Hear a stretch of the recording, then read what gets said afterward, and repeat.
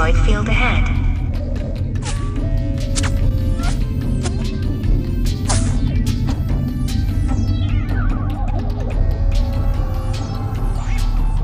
Now approaching the pizza planet.